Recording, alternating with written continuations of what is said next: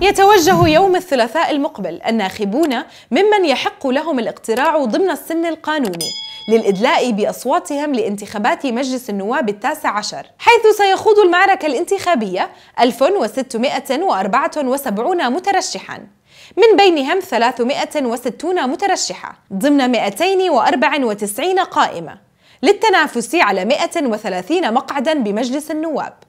ويشار أن عدد المترشحين المسيحيين لانتخابات الدورة القادمة بلغ 79 مترشحا ومترشحة موزعين على ثمان محافظات وهي العاصمة والبلقاء والزرقاء ومادبة وإربد والكرك وعجلون. وفي ذات السياق أعلن رئيس الوزراء الدكتور بشر الخصاونة أنه سيتم إجراء حظر شامل بعد ساعة من إعلان نتيجة الانتخابات وحتى صباح الأحد الخامس عشر من تشرين الثاني ليتم وقتها القيام بوقفة على الوضع الوبائي.